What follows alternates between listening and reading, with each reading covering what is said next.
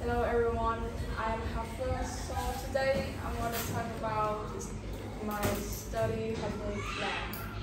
Uh, I've choose London for my study holidays for the following reasons. First of all, it's cheap to fly there and only 600 and um, 1602 dollars trams or walk to visit the cities.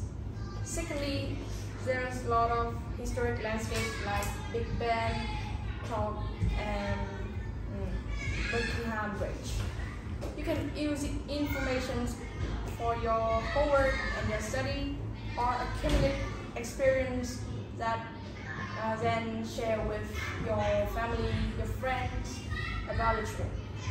Thirdly, accommodation is comfortable and nice, but you need to spend more money because it's actually very expensive city. But don't worry, it won't cost too much and it's gonna fit your wallet. On our side, the weather is unpredictable because it's often rains and you need to choose a reasonable month to go and to go there and have the best experience.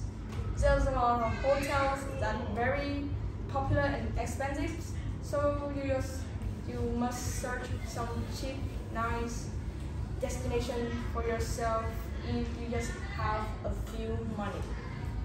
And the activity the activities there are not too interesting and the equipment aren't not very popular.